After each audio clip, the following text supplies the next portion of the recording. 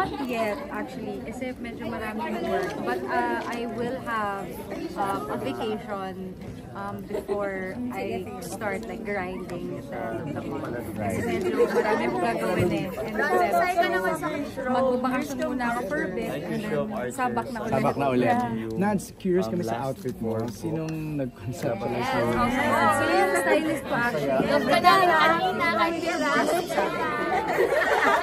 Hindi pa. Ah.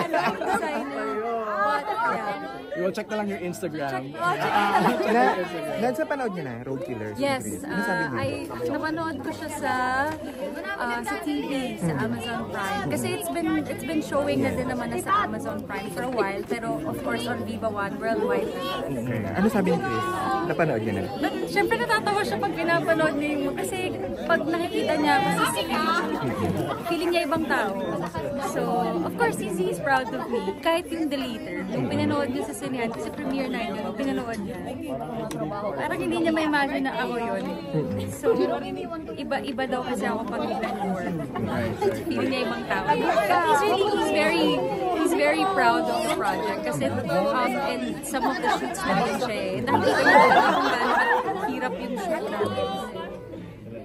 Super happy. I wanted to ask you, but I don't know. Just, just answer if you want to answer. Kasi ang dami kasing naghihiwalay sa showbiz na. Ano, kasi ikaw non-showbiz na yung ano mo eh, yung partner mo. Okay na ako, guys. Hindi na ako kasali dyan, okay na. Okay, thank you. Thank you, Nats. Thank you. Thank you po.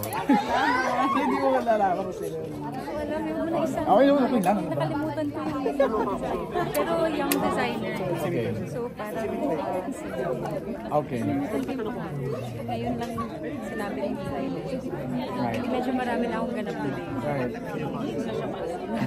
Sorry na. No, it's okay. We'll just check your Instagram. Yeah, sige. Makes sense. Thank you.